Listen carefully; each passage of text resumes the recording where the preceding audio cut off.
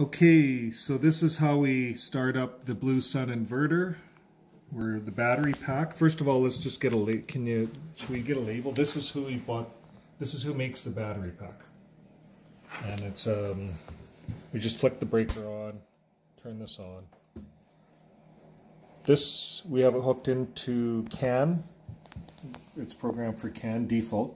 This is just set for one. And if you had multiples, you'd just address them and, and then daisy chain them. But the alarm goes off. This starts up here. At first it shows a BMS COM failure right there. And then when I, I hit the, uh, the, the unlock, it goes away. Now, of course, by the way, you have a, a spelling error there. I'm going to show you guys. GERD low volume, it should be grid low volume, G-R-I-D. This one's spelt right, so it's just a spelling error there. Now, of course, our grid's turned off. Our solar, I'm going to turn the solar on right now. And this is on the default programming because we reverted back to the factory default. And uh, PV input comes in right away. So PV1 is the voltage coming in. Um, it's quite snowy. There's not a lot of watts coming in today, so. And if I turn the grid on, I'm going to turn the grid on right now. Everything, the alarm will go away. Just give it a second. And uh, there, everything, everything cleared up. It's clicking.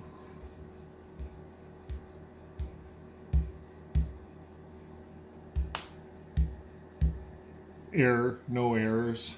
And if you come down here to the battery, you can see the batteries, uh, it'll go back to the other status page. So the battery show it's already charged up. I had this battery charged up. So it shows a negative load. Now I'll put a, a heater on here if, if we can just hang on for a second.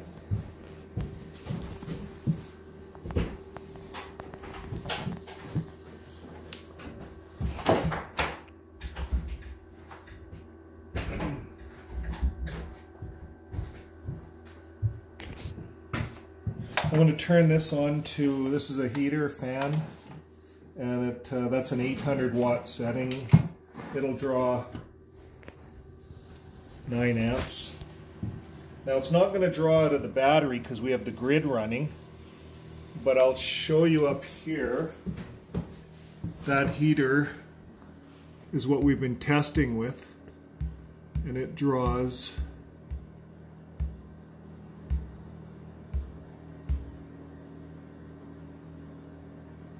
seven amps.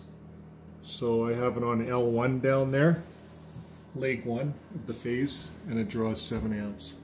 So I'm going to take the grid off. The grid's going to come off. And, uh, you know, here's how, here it clicks over here.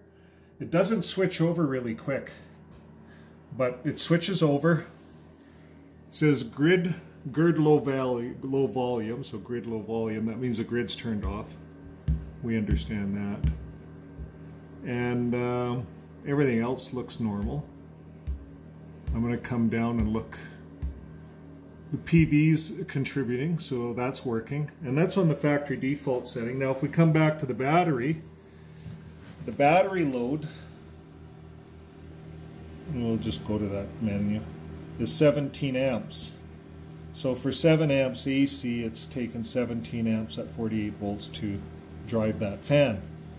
And uh, we found uh, over a two-day period with the firmware upgrade, we were we got a few of those error 14s. And maybe it's because we only have one battery running, and we should have two batteries. This is only a 100 amp battery. We thought about that. But uh, this is just a small test load. It should be fine in our opinion. And uh, the, the LEDs show run. They, they don't show an alarm here, so maybe you guys can contact the factory of this battery and see if your firmware, if your BMSs are compatible. It, it seems to be compatible. It seems to be working to us.